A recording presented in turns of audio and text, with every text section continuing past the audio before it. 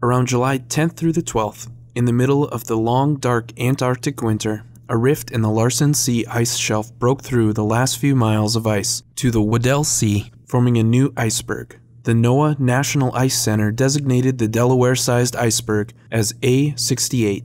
In the July 12th image, the MODIS sensor on NASA's Aqua satellite shows relatively warm open water completely around the new iceberg. The crack between the iceberg and the ice shelf is really a soup of floating, broken pieces of ice on top of the water. On the same date, TIRS on Landsat 8 recorded its own image showing the relative temperature of the ice and the rift.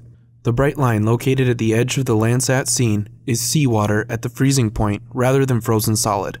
Ordinarily, the Landsat acquisitions for Antarctica shut down when the sun gets close to the horizon, which usually happens uh, in this area March or maybe early April.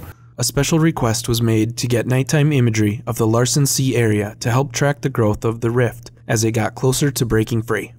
Landsat 8 um, is, uh, again, part of a revolution of how much remote sensing can do to track uh, the polar areas. And of course, polar areas are really experiencing the brunt of climate change on Earth right now.